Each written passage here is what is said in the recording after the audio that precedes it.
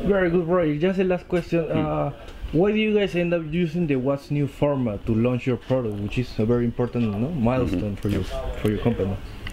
We chose the What's New TV advertising format because we're very convinced that What's New is a very effective way of reaching our consumers. Our consumers are smart, they're well educated, they've got strong opinions, and they know what they want.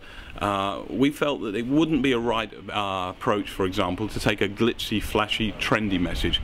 We wanted to present the values in a very clear and a very concise way and establish the benefits very clearly with consumers. And that's really what this What's New 30 second TV format does. It presents a product in a very user-friendly environment. In this case, we're showing it in a modern contemporary kitchen, and it allows us to inform the viewer about the core values, about the benefits of the product in a very clear and succinct way. So uh, the What's New format we know is very, very well received by consumers in Australia. Uh, we talk to consumers, they find it very credible.